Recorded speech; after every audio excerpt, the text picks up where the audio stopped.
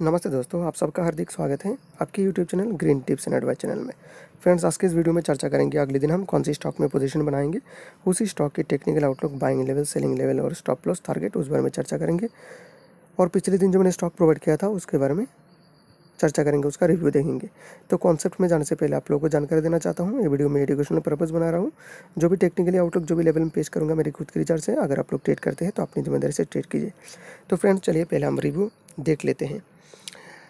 देखिए फ्रेंड्स पिछले दिन जो मैंने स्टॉक प्रोवाइड किया था, उसका नाम था जुबिलेंट लाइफ जुबिलेंट लाइफ जो है, पहले सेलिंग लेवल एग्जीक्यूट हुआ था seven hundred eighty two point thirty three और लेवल एग्जीक्यूट होने के बाद नियर फास्ट टारगेट डन हुआ। यहाँ पर हमें टू पॉइंट का प्रॉफिट हुआ, यानी सेवन हंड्रेड एट्टी का लो बनाया। लेकिन फास्ट टारगेट का जो लेवल था सेवन हंड्रेड सेवेंटी टू वो हिट नहीं हुआ था। एट्टी का लो बनाया तो यहाँ पर हमें टू पॉइंट का प्रॉफिट हुआ। तो जिसने भी प्रॉफिट बुक किया, उसको प्रॉफिट हुआ है और जिसने नहीं किया उन लोगों को नुकसान हुआ है। क्योंकि कुछ ट्रेडर ऐसा होता है फ्रेंड्स दो पॉइंट तीन पॉइंट ढाई पॉइंट लेकर निकल के जाते हैं और कुछ ट्रेडर पूरा टारगेट के लिए बैठते हैं। तो जिन, जो ट्रेडर पूरे टारगेट के लिए बैठते हैं, उन लोगों का आज नुकसान हुआ है। लेकिन सिर्फ़ वन पॉइंट का नुकसान हुआ। कैसे? क्योंकि फ्रेंड्स मेरा जो व्हाट्सअप ग्रुप है, वहाँ पर जितने सारे मेंबर हैं, सभी को मैंने अपडेट किया था कि सेवन हंड्रेड एट्टी थ्री में स्कोर अप करने के लिए। तो सभी ने सेवन हंड्रेड एट्टी थ्री में स्कोर अप कर दिया। और पर्सनली जिन ट्रेडर ने मुझे एसएमएस किया था कि अभी क्या करें तो जब सेवन हंड्रेड एट्टी नाइन चल रहा था, उसके बाद जब नीचे गिरा था, तब मैंने सेवन हंड्रेड एट्टी थ्री में उसको स्क्वायर अप करवा दिया था। ओके फ्रेंड्स इसलिए मैं कहता हूँ, अगर आप लोग ट्रेड करते हैं तो प्रॉफिट जब होता है प्रॉफिट बुक कर लीजिए। और अगर नुकसान की तरफ़ जाते हैं तो मुझे एसएमएस कर सकते हैं, मैं आप लोग को अपडेट कर दूँगा कब स्क्वायर अप करना है। उसके बाद फ्रेंड्स क्या हुआ आज गिरावट मार्केट में Jubilant Life selling level execute होने के बाद फिर ऊपर की तरफ़ छलांग मारा। और फाइनली क्या हुआ फ्रेंड्स बाइंग लेवल एग्जीक्यूट हुआ seven hundred ninety nine point twenty seven और seven hundred ninety nine point twenty seven execute होने के बाद सेवन हंड्रेड टेन का हाई लगा, यानी थर्ड टारगेट अचीव हुआ तो फ्रेंड्स हमें यहाँ पर एट पॉइंट मिला और अगर हम वन पॉइंट माइनस करते, फिर भी हमें सेवन पॉइंट का प्रॉफिट हुआ आज जुबिलेंट में। ओके फ्रेंड्स तो चलिए अगले दिन के लिए कौन सी स्टॉक सिलेक्ट किया, उस बारे में चर्चा कर लेते हैं। तो फ्रेंड्स, अगले दिन के लिए मैंने जो स्टॉक सिलेक्ट किया, उसका नाम है टाटा स्टील टाटा स्टील को सिलेक्ट करने के रीज़न हम बता देते हैं। टाटा स्टील को इस मैंने इसलिए सिलेक्ट किया क्योंकि टाटा स्टील दो दिन पहले वन फिफ्टी क्लोजिंग प्राइस को पॉजिटिव ब्रेकआउट किया था और आज टू हंड्रेड डेज़ को भी पॉजिटिव ब्रेकआउट किया इस गिरावट मार्केट में भी। आज टाटा स्टील पहले सेवन कितने का लो बनाया था फ्रेंड्स? लगभग सिक्स हंड्रेड एट का लो बनाया था। लो बनाने के बाद सिक्स हंड्रेड फाइव का शायद लो बनाया। सिक्स हंड्रेड फाइव लो बनाने के बाद फ्रेंड्स इसमें इतना उछाल आई।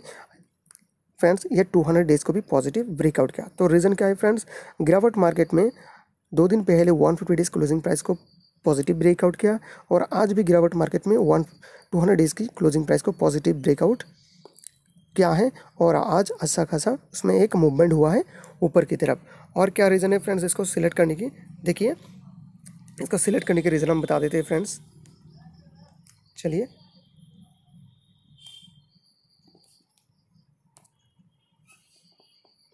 देखिए फ्रेंड्स, यहाँ पर तो फ्रेंड्स, टाटा स्टील को आप लोग देख रहे हैं, ऊपर की तरफ़ एक रेड कलर का हॉरिजॉन्टल लाइन है और नीचे की तरफ़ एक रेड कलर का हॉरिजॉन्टल लाइन है। देखिए, आज जो है इस रेड कलर के हॉरिजॉन्टल का जो ट्रेंड लाइन है, इस ट्रेंड लाइन के ऊपर जो ट्रेड कर रहा था, उसको पॉजिटिव ब्रेकआउट किया था। ब्रेकआउट करने के बाद उसके ऊपर ट्रेड कर रहा था। लेकिन फाइनली क्या हुआ फ्रेंड्स, इस अप्रेंड में जो एक हॉरिजॉन्टल लाइन हमने ड्रॉ किया, इस लेवल के नीचे ट्रेड किया है और उसके नीचे ही क्लोज हुआ है।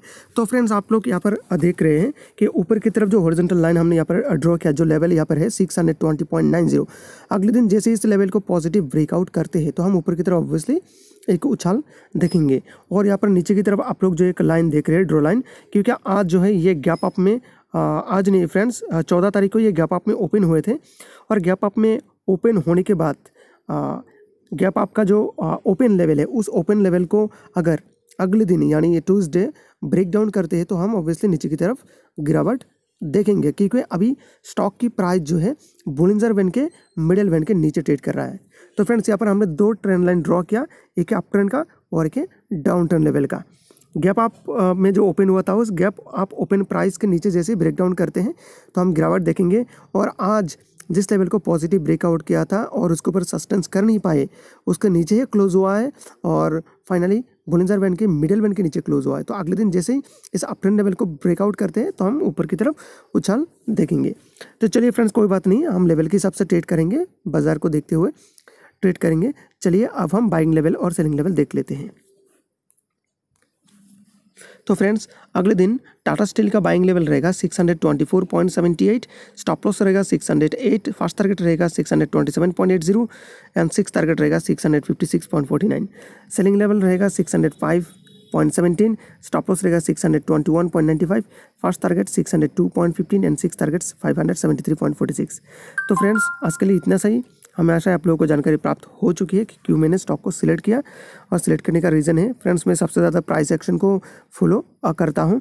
क्योंकि इंडिकेटर जो है, पहले प्राइस ऊपर जाएगा, उसके बाद इंडिकेटर आपको सिग्नल देगा कि हाँ अभी ये ऊपर जा रहा है। और जब इंडिकेटर सिग्नल आपको दिखाएगा या फिर मूविंग एवरेज आपको सिग्नल दिखाएँगे, तब तक स्टॉक की प्राइस काफ़ी ऊपर चले जाते हैं। इसलिए प्राइस एक्शन के ऊपर बेस करके अगर आप ट्रेड करते हैं और लेवल के ऊपर ट्रेड करते हैं तो आपको प्रॉफिट होने का चांसेस ज़्यादा रहेगा। तो फ्रेंड्स हमें आशा आप लोगों को जानकारी प्राप्त हुई है। अगर आप लोग ज़ीरो में डीमार्ट अकाउंट ओपन करना चाहते हैं तो डिस्क्रिप्शन में दी गई लिंक पे क्लिक करके अकाउंट ओपन कर सकते हैं। फ़ायदा क्या होगा फ्लैट बुकेज ट्वेंटी रुपीज़ अधिक जानकारी के लिए मुझे कॉन्टैक्ट कर सकते हैं nine eight six four two four zero में। मैं आप लोगों को हर तरीके से सहायता करूँगा। और अगर अगर आप लोग पेड सर्विस लेना चाहते हैं तो मुझे कॉन्टैक्ट कर सकते हैं। डेली में तीन से चार कॉल प्रोवाइड करता हूँ एट्टी परसेंट एक्यूरेसी के साथ। और सुबह नौ पंद्रह से तीन पंद्रह तक मेरा लाइव सपोर्ट रहते हैं। आज भी मैंने फ्रेंड जितने सारे कॉल प्रोवाइड किया, वो सभी कॉल मेरा कॉल एग्जीक्यूटिव और टारगेट भी हो चुका था। आज टाटा स्टील भी मैंने प्रोवाइड किया था अपनी पेड क्लाइंट को। तो फ्रेंड्स आज के लिए इतना सही वीडियो देखने के लिए धन्यवाद। थैंक्स फॉर वॉचिंग जय हिंद।